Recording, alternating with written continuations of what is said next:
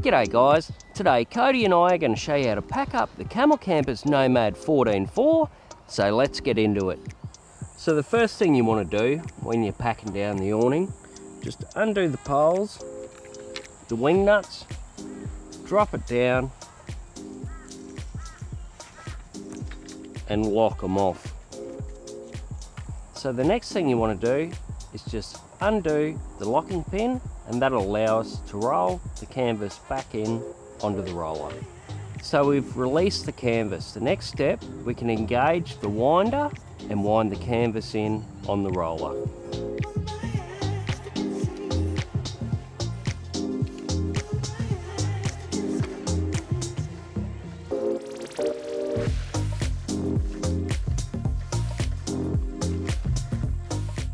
So the next step is to just tighten the locking screw so everything stays in place while you go into your next camp spot. So the next step is to undo the support poles and they're just held in place by friction. So undo those, unclip them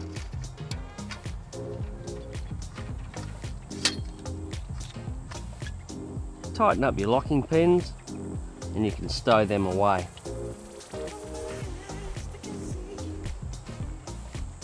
So the next step is just to fold the legs up into the fascia.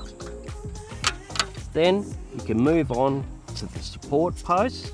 So just release this pin, slide down the tube, and then it folds away. Just as easy as that.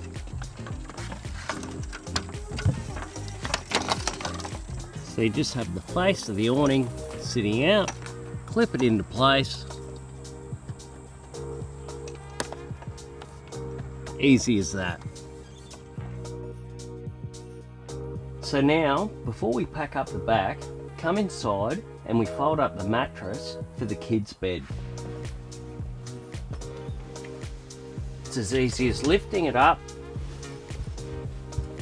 hinges in the middle, stores there just like that. So we've moved outside and now we can pack up the bed. The mattress is all folded up. Handy tip, just lift up the canvas weather shield, push up the bottom, push the floor away, hold your canvas in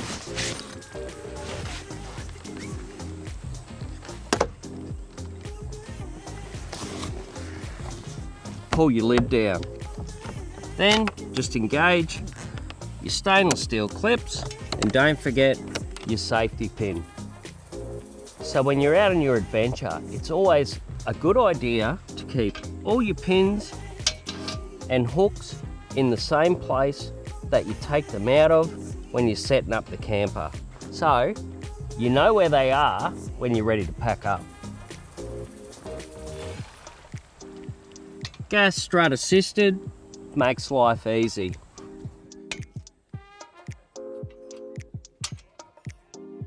So now we've got the back all packed up and secure, we can move inside and drop the roof. When you do that, make sure you have all the windows closed.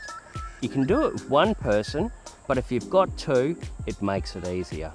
So once you've lowered the roof, make your way around and just secure all your latches and put your locking pins in. So now we're almost ready to go. But last but not least, you've got to work your way around and do all your stabiliser legs. Wind them up, pull the pins, move the stabiliser leg up, make sure the pins engage because you don't want them dropping down when you're driving. And then of course, when you get to the front, make sure you stow away the jockey wheel so it's not going to get damaged while you're on your way to your next adventure. So, to fold your step away, just lift the front and fold it up and under like that and it's compact so it's not going to get damaged while you're heading home or to your next perfect spot. If you want more information, head to camelcampers.com.au to find your closest dealer or to see more videos, head to our YouTube channel.